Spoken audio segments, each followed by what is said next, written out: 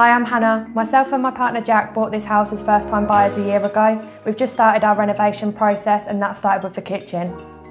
First we met the designer. The designer came and had a look at the space, spoke to us about our kitchen, what our priorities were, what we wanted to get out of the space. We then visited the depot and picked out the colours, the flooring, the handles. We had a look at everything and matched it all together to see how it worked. Witney is Howdens most affordable range. We're actually really surprised that we could get this kitchen within our budget. We chose this worktop because we love the marble look and this is affordable and kept within our budget. We chose the flooring because it's light and hard wearing. With a dog running through it, it's easy to clean. We love the floor so much that we're going to have it put through the whole of the downstairs.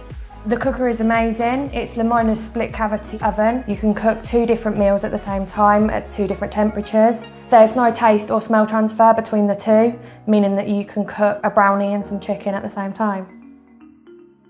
My favourite part of the kitchen is that it's fresh and modern. It makes the space feel much bigger. It's light, airy, and it's a great place to socialise in.